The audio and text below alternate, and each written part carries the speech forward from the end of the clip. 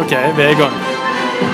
Men, men uh, hvis det skjer noe etter rulleteksten, da må vi være stille. Altså, det er kanskje en grunn til at folk sitter her.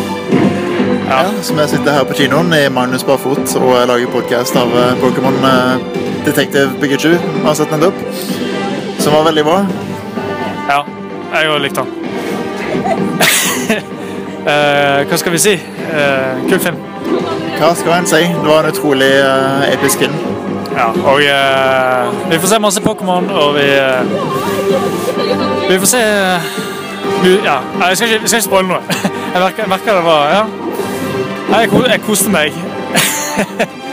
Hva, hva Jeg er litt sånn målløs nå. Jeg vet, altså, jeg vet ikke helt hva jeg skal si. liksom. Var han bedre enn verre, bedre, eller verre enn forventa? Han var faktisk eh, Han var så bra som jeg håpet han skulle være. Eh, men han var bra på en annen måte enn jeg trodde. Eh, fordi jeg trodde han skulle være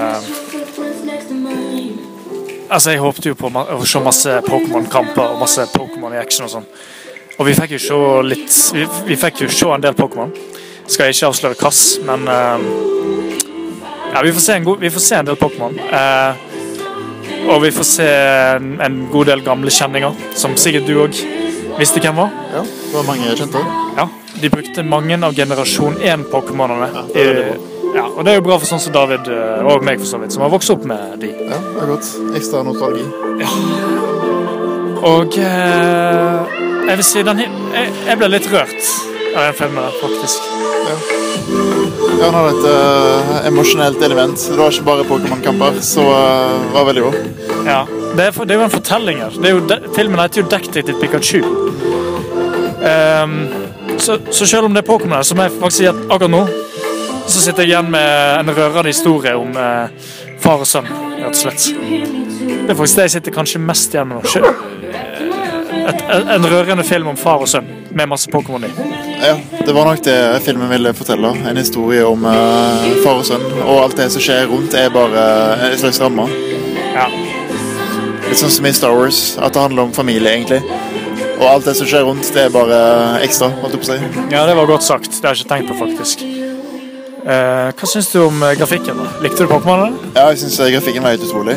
Utrolig bra effekter. Så du eh, koste deg? Ja, veldig absolutt. Jeg syns spesielt eh, Pikachu uh, så helt ekte ut. Jeg kunne nesten tatt på han uh, når jeg så han. Ja, veldig koselig gul eh, ball. Og resten av Pokémon også så Det var faktisk noen Pokémon som så litt skumle ut. Jeg begynte nesten å tenke litt på filmen Alien. Ja. Uh, Du vet når de var uh, Spoiler, spoiler! Men når de var inne i en viss plass. Ikke i ræva mi, altså. Det er det man pleier å si når man sier en viss plass.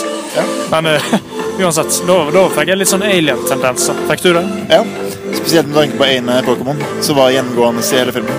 Men skal ikke si hva var, selvfølgelig. Ja, ok. Ja. Jeg tenkte faktisk på den Pokémon som det var tre av, og som hadde en blå farge. For å si det sånn. Så nei, de var litt skumle. Syns du, hva syns du om fortellinga i filmen? Ja, jeg synes den var veldig kul. Det var en rød tråd gjennom hele filmen. Men vi visste alltid hva det handla om, hva han skulle oppnå, og uh, det var veldig kjekt. I stedet for at vi mista handlingen i masse effekter, så ikke skjedde, heldigvis. Ja. Jeg, på grunn av den høye musikken så hørte jeg ikke helt hva du sa der, men uh, det hørtes ut som du var fornøyd i hvert fall. Ja. Eh, alt i alt uh, Jeg tror jeg vil gi filmen en uh, Ja, en varm Ja, jeg gir den en varm fem pluss. Ja. Jeg òg kommer til å gi filmen en femmer, og vi kunne sikkert satt og snakka mye om den. Men jeg velger å bare si at jeg, ja, jeg gir en terningkast fem. Jeg, jeg er fornøyd. Og vi anbefaler den for folk som liker Pokémon. Ja.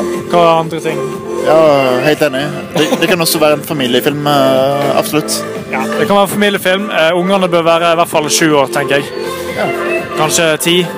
Minst eh, 20. Jeg er helt enig. Ja, minst 20, ja. Jeg tror David ikke hørte hva jeg sa. Men eh, det går fint. Eller han tuller, kanskje. Eh, hva, hva andre ting eh, kan vi anbefale film for? Uh, hva andre ting? Uh, jeg tror det meste er slags jeg kommer på. Løp, løp og se den. Ja, ferdig? Løp og si pika, pika!